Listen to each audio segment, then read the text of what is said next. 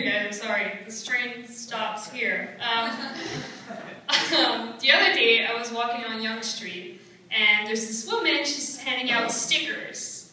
And she walks up to me, and she's like, I think you're beautiful, and I give stickers to people that I think look good. So I was like, oh, thanks! And it's just like, do you have change? Like a nickel or something? I was like, oh, really? Like, is this where I am in my life, where I have to pay people in order for them to give me compliments? Oh no, I, what's your filter anyways? Like, I'm pretty sure ugly people have money too, right? I don't know. Um, I went to a Backstreet Boys concert two weeks ago. Woo! Backstreet's back, guys. Uh, lot of women. A lot of women there. Lots of sass. Uh, I was in line for the bathroom for the to- anyways, and uh, there's a pregnant woman being escorted to the front of the line by a security guard because she's pregnant. And uh, one of the girls in line is not having any of this. She's like, "Yo, what the fuck is going on?" And the security guard's like, "Well, she's pregnant." And uh, the girl, I swear to God, said, Yo, we all pregnant. no, we aren't. We didn't.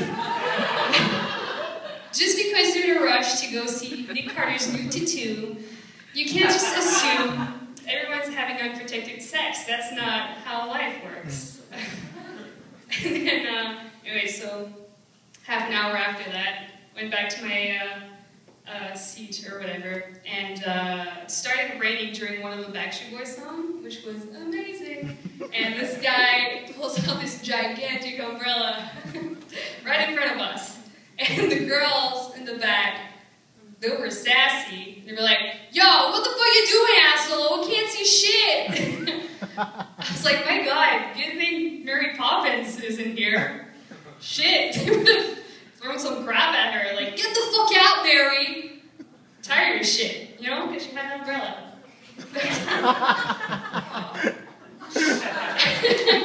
uh, have you guys see, uh, ever seen uh, the movie Good Luck Chuck?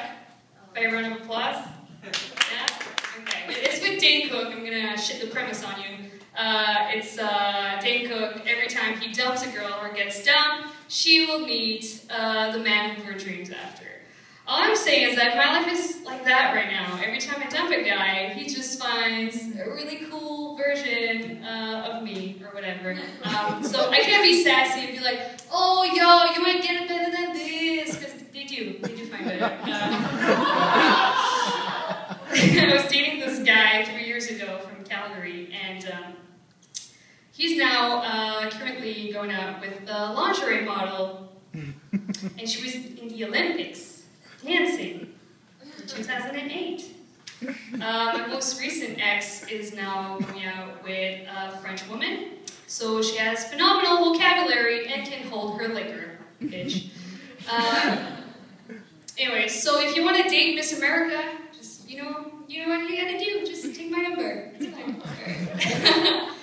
um, then my ex was kind of an asshole, though. Uh, he uh, who's from Quebec to start with, so. um, and he would correct my grammar mistakes when I wrote him like love letters. I was like, listen here, bud. The only thing that needs to be corrected is your attitude.